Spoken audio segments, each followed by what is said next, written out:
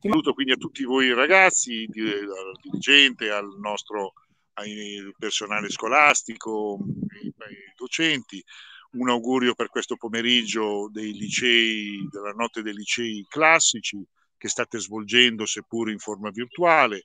Io vi sto salutando dal liceo Campana di Osimo, dove hanno invece avuto la possibilità di poterlo fare in presenza, beati loro, d'altronde qui gli spazi sono veramente molto grandi.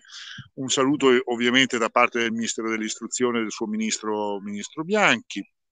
È quest'anno l'ottavo anno che si svolge questa manifestazione è una manifestazione importante che coinvolge tutti i licei marchigiani, ma non solo, ma anche nazionali di, tutte, di tutta Italia, quindi i nostri 16 licei marchi, classici marchigiani insieme ai licei classici di tutta Italia.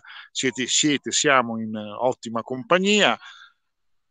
Smettetemi infine di augurare un bocca al lupo ai, ai ragazzi, agli studenti che fra qualche giorno dovranno affrontare gli esami di Stato bocca al lupo e eh, forza e coraggio e comunque sicuramente saprete farvi valere nonostante un anno difficile come è stato, come sappiamo tutti, quello che abbiamo dovuto attraversare.